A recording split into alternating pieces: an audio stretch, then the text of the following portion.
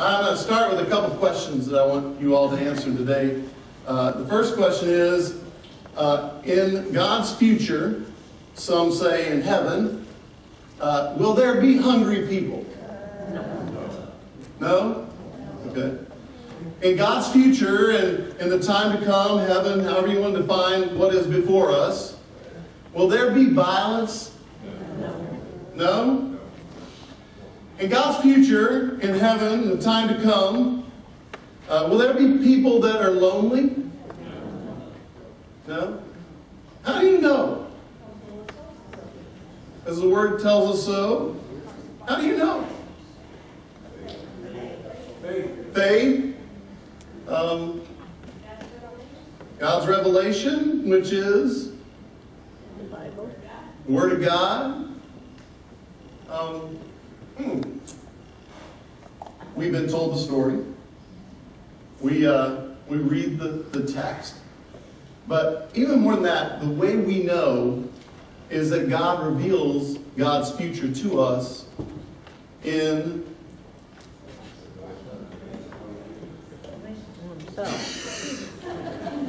what's the easiest Sunday school answer you can give? Jesus, right? You know, we get caught up trying to figure out the mysteries in the text about what God's future is going to be like for us. And God revealed that future to us in Jesus. Jesus. Wow, you are getting it now, right? Loving Jesus. You're going to get it right almost every time, right? God reveals God's future to us in Jesus.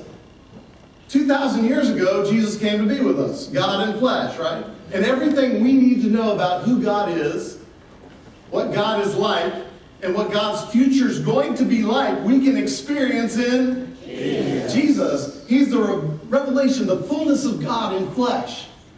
Uh, and he sets the pattern for us. Think about Jesus his life, his death, and his resurrection. Everything about Jesus and everything that Jesus shares with us is about hope and liberation and healing and peace and life, abundant life. When Jesus walked the earth and he went from town to town and he shared this good news of God's kingdom breaking through, that's an important element, by the way is that a lot of times we look at Jesus as if he just walked around as some great miracle worker. Like he went to town, he was just healing people and feeding people and all that kind of stuff. But that wasn't Jesus' purpose. As a matter of fact, in the book of Mark, Jesus is constantly telling people that have had this experience with him to not tell anybody about it. He'd heal somebody uh, of sickness, and then he'd turn to them and he'd say, Listen, keep this a secret. Don't tell anybody about it. Those, those moments in that text are known as the secrecy motifs, and a lot of people are wondering, why would Jesus say that? Because Jesus didn't want people's attention to get shifted from the purpose. Sure, he healed people, he liberated people, he fed thousands, right? But his purpose, and he says it over and over and over again throughout the gospel, is to proclaim the good news of the, the kingdom. The kingdom. What we find in that is that the fullness of the kingdom has come to us in Jesus. So you can use Jesus and the kingdom together because they are the same thing. So what Jesus is sharing when he comes into those towns is he's sharing the fullness of the kingdom. And you know what the fullness of the kingdom is about? It's about everything that you all shared at the beginning in my questions. A life no longer bound by sin and brokenness. A life that is liberated and set free from worry and burden and loneliness. A life liberated from oppression to disease and sickness. A life to live abundantly in relation with others, not out of hostility or violence towards the other, but to be a people who are united in peace. Everything we see in Jesus is exactly a representation of the future that we will have together in Christ. Amen? And today, on All Saints Sunday, here some of you are wearing white. I know I'm not wearing white. I've got a white stole. Okay. Is we're celebrating all of those who've gone before us, who are now alive in Christ in God's future. Glory be to God that they are experiencing that fullness. And while we might focus on the future, the message for us today is that we shouldn't all be just looking towards the future. That we need to embrace God's future in the present. The here and the now. That's the work of God's church. That's the work of God's people.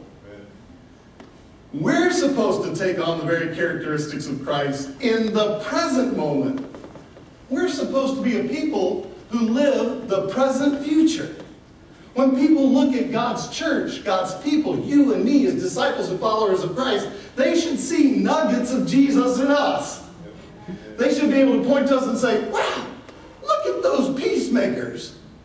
They're living a completely different kind of life than the way of the world. Look at those people who are willing to themselves and serve each other. What kind of life is that? You see, when we read the gospel text today and we actually experience the Beatitudes, which, by the way, is Jesus' beginning of his primary teaching, the Sermon on the Mount. Matthew chapter 5 through chapter 7 is known as the Sermon on the Mount, Jesus' primary teaching. And he begins right off the bat with the Beatitudes. His disciples gather around him, which, by the way, when, when it's mentioned that his disciples gather around him, they're not just talking about the 12. There are hundreds of people gathering around interested in what Jesus has to say and what Jesus has to offer. You see, word of this awesome, wonderful guy has been spreading all across the countryside, and people want to find out what is going on and what he's really all about. And so they come to hear. And so Jesus is in this teaching moment. Um, we're people who kind of want to know what the end's going to be about, right? You don't believe me, people are making lots of money off of books writing about how it's all going to end. Matter of fact, we also get caught up when we read stories about people who return from the afterlife, don't we? I mean, there's all kinds of books out there about I saw God, I saw my family, and it kind of brings us comfort because we want to know, we want to have some assurance that this story that we've all been invited into might have some truth, you know? We want to know that that life that is to come is going to be like the life that Jesus had to offer, that there will be no more weeping, no more mourning, uh, that there will be peace, that there will be healing and wholeness in the life to come. And I think that's human. We all want to know. We all want to know. But sometimes we can get so focused on wanting to know about the future that we forget about the relationship God has called us to in the present. And so when Jesus sits down with his disciples on that mountain and he begins to preach, he starts right off the bat with the Beatitudes. And he talks about these folks who are blessed. Now, I know in my own life, I don't know about you, but when I've read the Beatitudes in chapter 5, blessed are the hungry, blessed are the humble, blessed are the merciful, blessed are the peacemakers, a lot of times I've viewed those as if they were conditions. And what I mean by that is that I, I read it and I think, well, if I'm peaceful, then I might be called a child of God. Get it? The condition? Or, or if I'm humble, I might be able to see the kingdom of heaven. Uh, that there's like these conditional response within Beatitudes, but I don't think that was Jesus' intent. I think what Jesus is sharing in that moment is he's actually turning the world upside down right there and then. He's setting a new precedent. He's giving the people gathered that day a new name. Each and every one of them that gathered before him that day are considered blessed. Blessed. So the people who are there that day represent each and every aspect of those he shares in the Beatitudes. The hopeless, the hungry, those who mourn, those who feel lost and abandoned, those who are merciful, those who are peaceful, those who are being persecuted. They're all there in front of him. And with each and every one of them, what name does he give them? Blessed. He's reminding them that they might find themselves in this present moment burdened by the things of the world. But the good news is that God's kingdom is available for them in the here and now. In other words, what Jesus is sharing with the people that day is they don't have to wait for it anymore. They can step into the blessing because Jesus is calling them out. And in whatever situation they find themselves in life, which stands in opposition to the successful patterns of the world, think about that a minute. When Jesus goes through the Beatitudes, hopeless, hungry, mourning, are those types of people considered to be successful in the ways of the world? I mean, you got to remember, Jesus is talking to a predominantly Roman audience, right? I mean, it's the Roman world. What standards of success existed in the Roman world? Y'all know? Power, same as today. Conquest, security, financial wealth, you, you name it. Those were the standards for success in the world. And Jesus starts out by saying, guess what? All of you who have not been defined as successful in the world, I'm giving you a new name today. You no longer need to worry because God's kingdom has come, is breaking through, and you can live abundantly in that kingdom here today. You no longer need to be defined by the brokenness and the darkness of the world. You are now defined as a child of God. And those who stepped into that relationship found a new breath and a new way to live. They became children of the new creation. And they continued to follow Jesus around. Did they get it all right all the time? No. But they began to pattern their lives in such a way that the definition, the word, the promise that was offered to them by Jesus that day began to resonate in such a way that they became an embodiment of that good news through their own lives. Think about the disciples, the 12 disciples in particularly, who are a part of this great feast that we celebrate today, the great cloud of witnesses. That after experiencing Jesus, their whole lives were transformed in such a way that they were able to give of themselves, even for most of them, unto death. Because they're no longer were going to play the games of the world, but to embrace the love of God, even if it meant giving their own lives for it. The strength that they found in that was partially because they were embracing the future hope that was already set before them. In other words, they knew the end of the story. Death could not hold him. Three days, resurrection life, new creation, new beginning, new hope.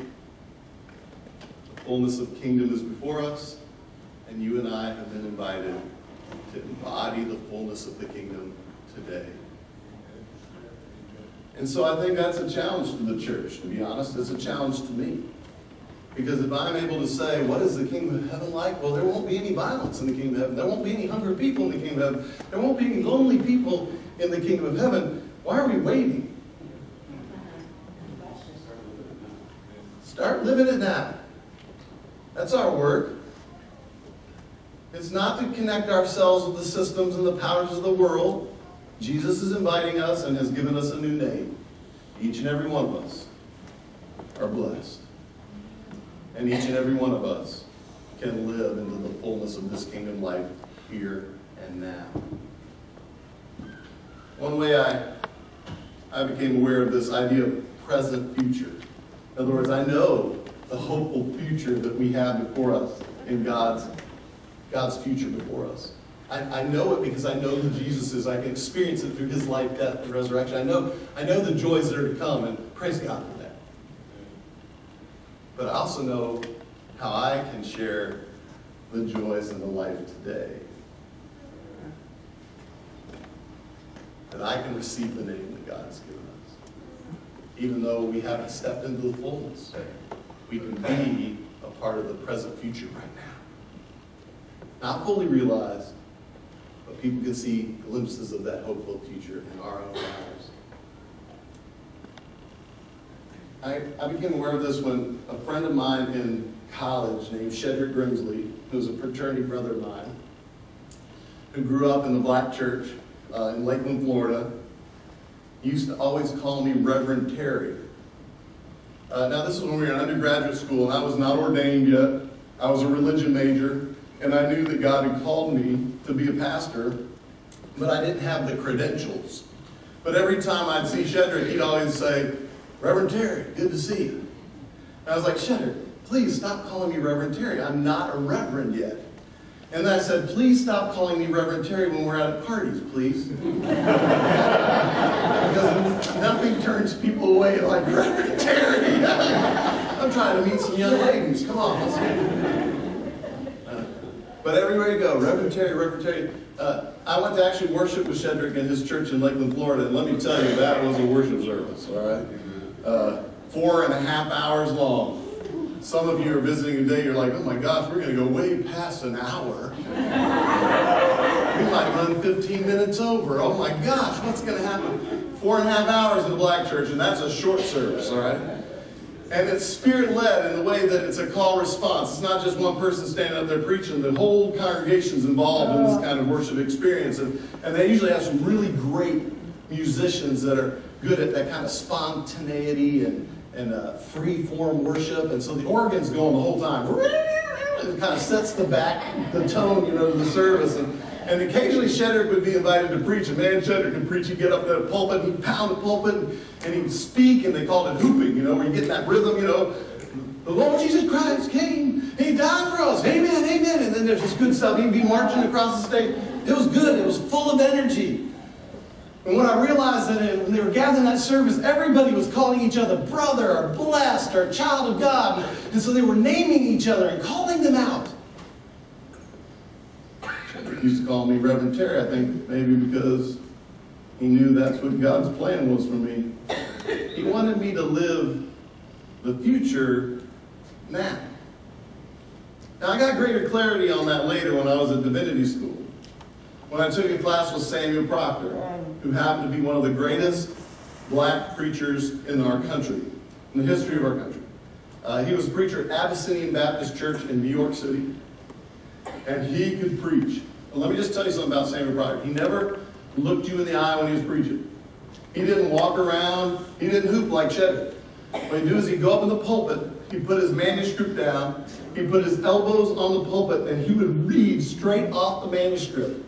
But he would read with such passion and conviction that he would draw you right into the story. It was like you were right there, you could taste it, smell it, feel it. And by the time he got done, man, you were just blown away. People come to the altar, you know, it was such a good sermon. That was Samuel Proctor. And I took a class with Samuel Proctor, and he was talking about the black church traditions. And one day he said that growing up in the black church, in a predominantly minority community, after coming through great trials and tribulations, especially through civil rights and all these, looking for greater equity in the midst of the world, that within the black church tradition, whenever a young person felt called to something that would make a difference in the world, the whole congregation would go ahead and give them that title. So if a young person wanted to be a doctor and help heal people, they'd start calling him Dr. John or Dr. Sue. When somebody felt called to be a pastor, they would give them that title. They'd call him Reverend Terry. You see, they didn't wait. They didn't wait for a captain. They didn't wait for the fullness of the kingdom. They went ahead and identified it in the people's lives then and there. In that present moment, embodying good news in their very life, even though they hadn't been through college or seminary yet. Just acknowledging that God is doing a good work in their lives and that they are blessed. Blessed. So why are we waiting? Why wait? Why aren't we becoming peacemakers now? Why are we feeding the hungry now? Why are we meeting our neighbors now? Um, um, Because that's the work of all the saints. um, And guess what? That's your name too. uh,